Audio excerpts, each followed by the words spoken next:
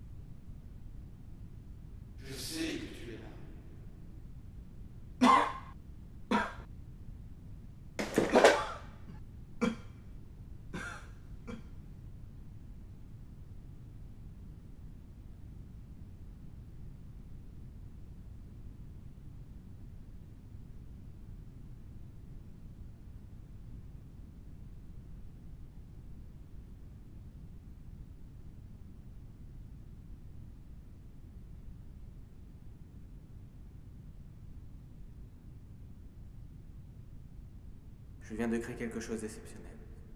Ceci changera la face du monde. Notre vision, il sera bouleversé. Prochaine étape, je rentre dans le système. C'était Damien, archive 2012.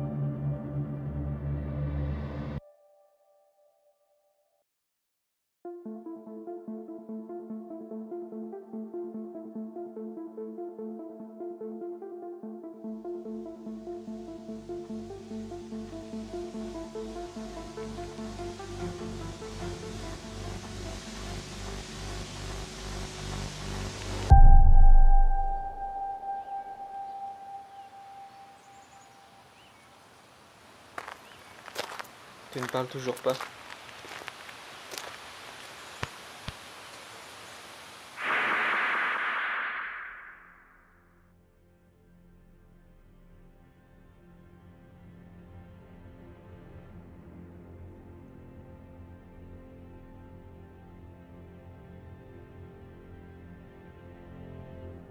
Ce monde est vide.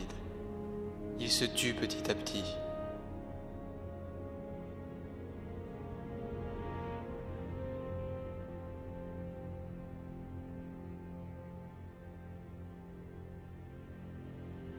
Numéro 7.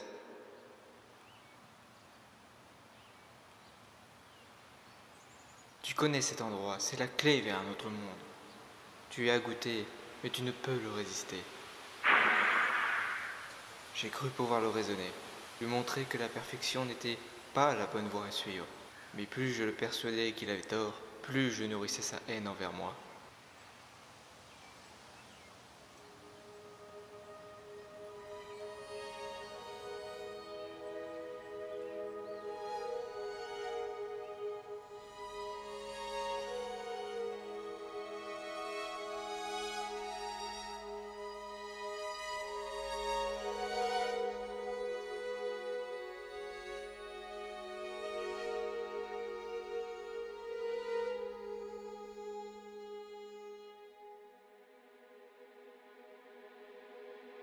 Je ne pouvais pas laisser la passerelle entre le monde numérique et le monde réel ouverte pour tous.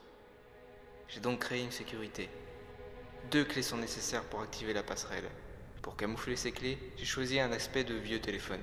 Peu de programmes font vraiment attention à ce genre de détails. C'était l'idéal.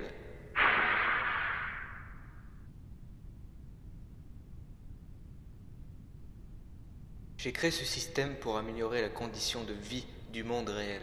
Je pensais trouver le Saint Graal, perle rare.